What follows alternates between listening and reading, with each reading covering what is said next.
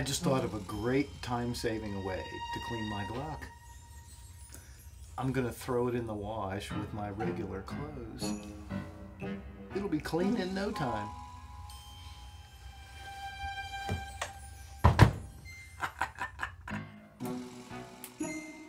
Heavy duty and extra hot. That ought to do it.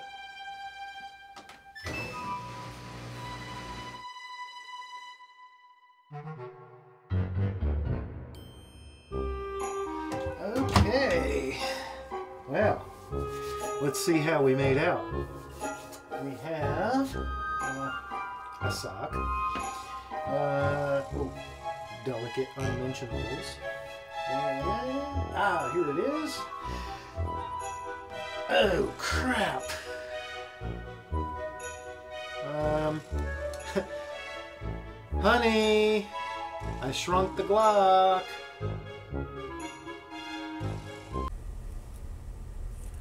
All right. On the workbench, we have the very brand new, extremely brand new Glock 42. Not just a brand new gun, but a brand new model. Ta-da! Okay, freshly home. Here is the diminutive Glock 42 single stack 380 ACP first look at the made in America, made in the USA Glock 380 Auto. First time ever sold in the United States. The Glock 42, a brand new model for a brand new year. Single stack, razor thin. So, what are the basics? Comes with two magazines, and it comes with, of course, a lock and it comes with a cleaning brush and plastic rod and it comes with the first shell casing fired. It comes with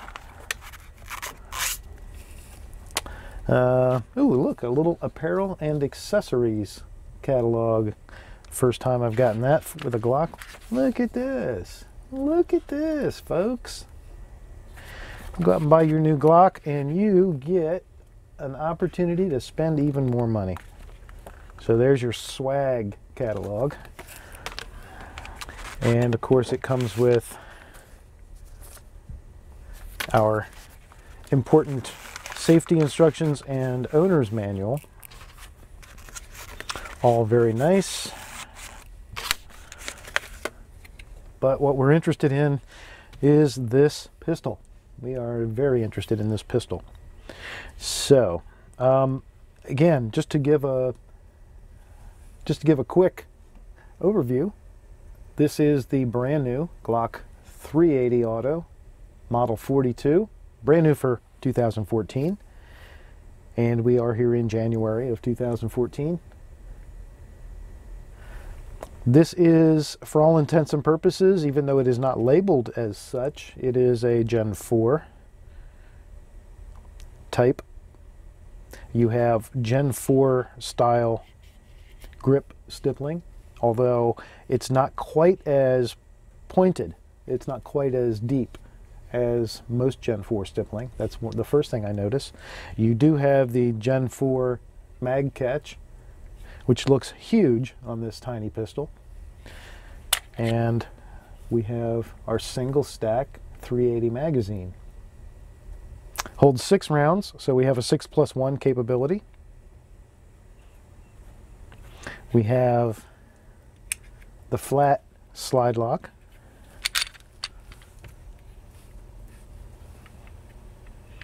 And all the other typical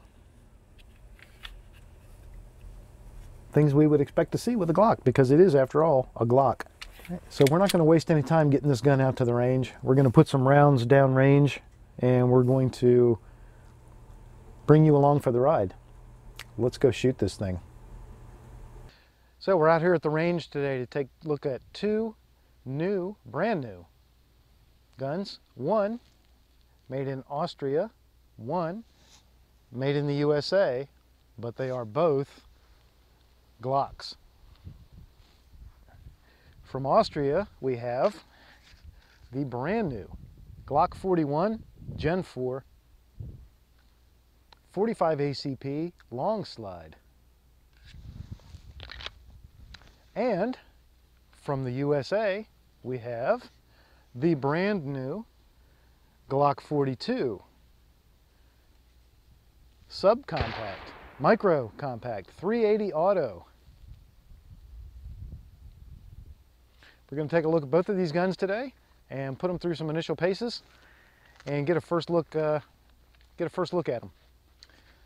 The brand new Glock 42 380 ACP 6 plus 1 capability single stack razor thin look at that going to take the very first shots here in a moment we're going to put this thing through a little bit of initial break-in and testing and take a first take a good first look at it she's a tiny one so let's uh, let's get some eyes and ears on and take this thing for a test drive.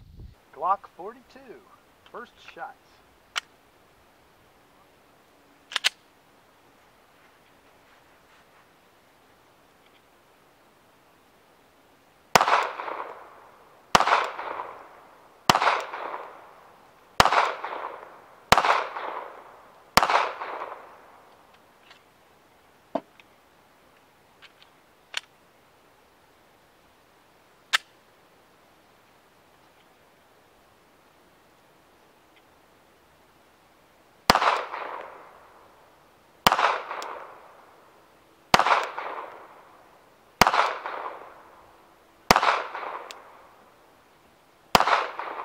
After two magazines of six, so my first 12 rounds, my thoughts so far are that this is a pretty impressive little 380. Um, there is very, very little recoil, very little muzzle lift at all. Um, this gun stays really flat, and that is largely uh, to do with the fact that it does have a very heavy dual recoil spring and guide rod assembly. Um, you know, this is a dual spring uh, that you might expect to see in a, in a larger Glock. So, um, you know, I don't know what the tension is on it, but it's obviously doing a great job of keeping this gun flat and uh, keeping that muzzle lift down. For as tiny as it is, it fits the hand really well. You have that the very familiar Glock grip angle, um, familiar ergonomics, same trigger, same trigger pull, same reset. Um, so, you know, there's if you if you shoot Glocks, this is a Glock, and it feels just like the others. So uh, let's get some more rounds through this thing. See if we can tighten that group up a little bit and uh, come up with some more thoughts and observations.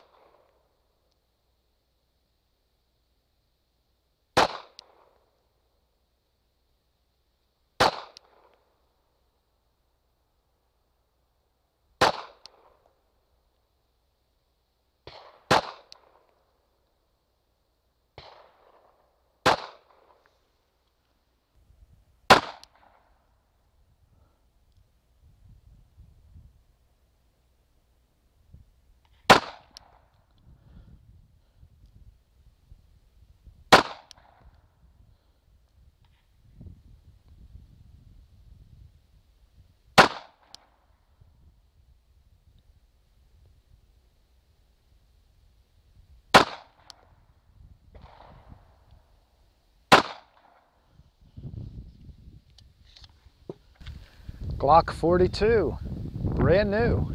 Still has that new Glock smell.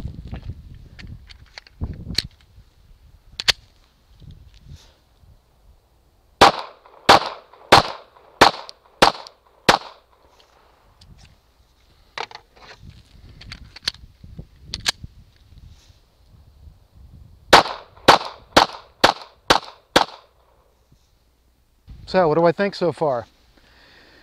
Just had it for a few hours. I've put uh, about 100 rounds maybe, not quite, through it. Um, done a little bit of initial accuracy testing just from a rest at 10 yards. Done some, you know, speed shooting and just some, some general feel.